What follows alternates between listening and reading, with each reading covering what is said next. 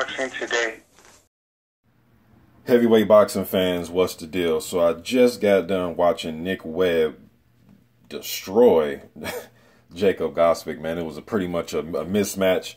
I'm not even sure Gospic even landed any punches, man. I think he maybe landed two or three punches, but he was on the defensive pretty much the majority of the whole first round. It was a first round stoppage.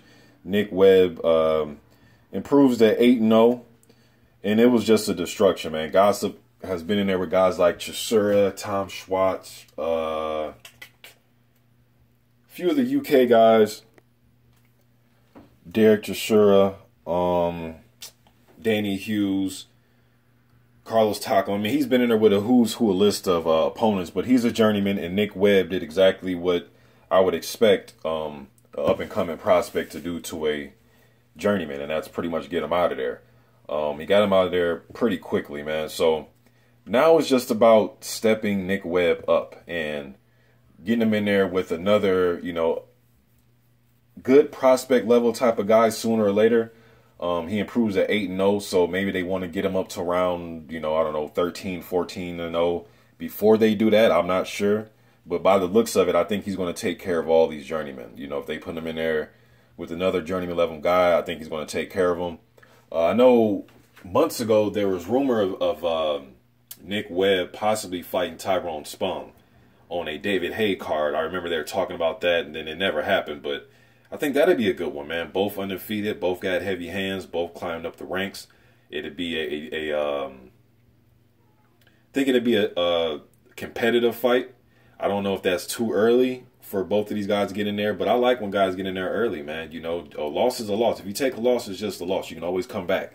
Look at Eric Molina. He got knocked out in the first round of his very first professional fight, and he's went on to have some success after that.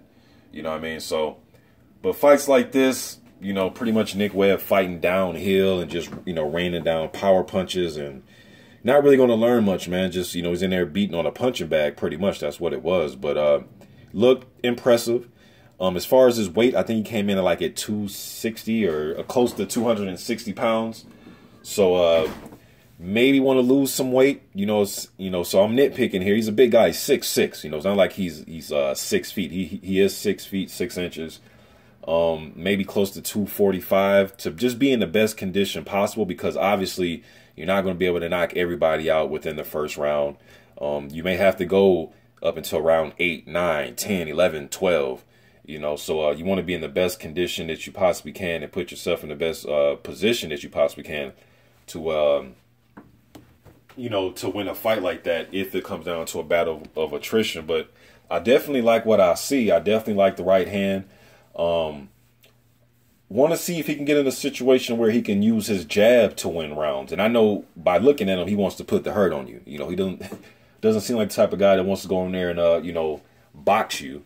But there's going to come a you know time where you may have to use your jab to keep your opponent off you to, to survive a round or something like that. But uh, I like to see him, you know, what his jab looks like, and if he can win some rounds by using his jab.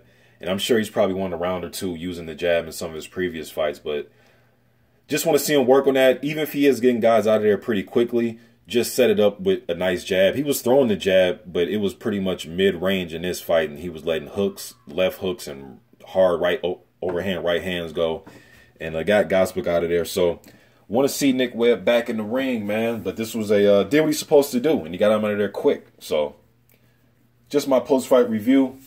Um, Nathan Gorman, that'd be a good fight. No, Nathan is a is a very young. He's a lot younger than Nick Webb, but maybe an Ian Lewison, maybe a fight like that. You know, just see where uh, Nick Webb is at because he's approaching thirty.